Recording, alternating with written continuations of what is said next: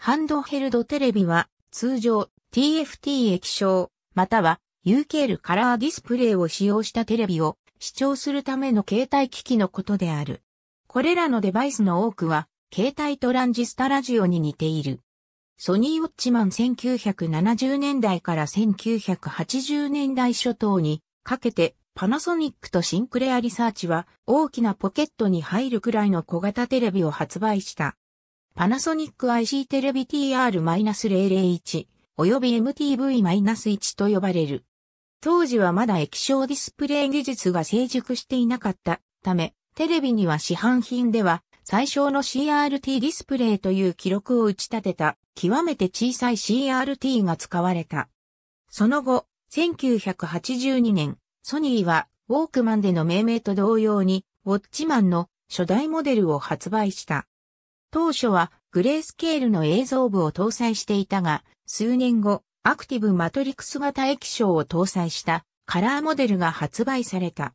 スマートフォンの中にはテレビ受信機を内蔵したものもあるが、インターネットのブロードバンド動画の方がはるかに一般的である。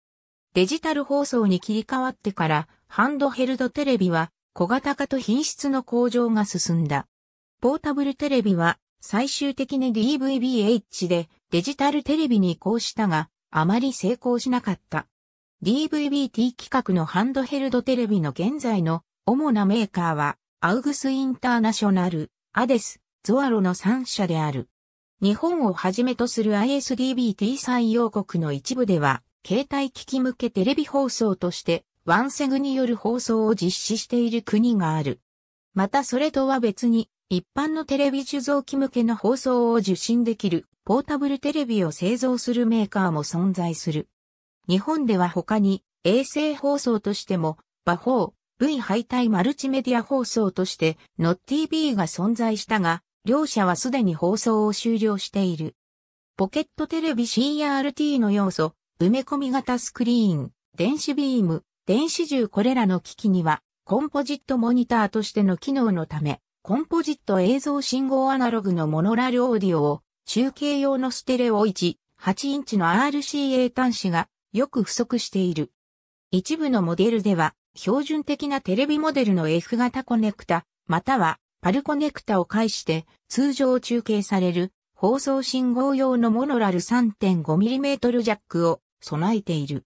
一部には HDMI、USB、SD 端末が含まれる。画面サイズは1.3から5インチと様々である。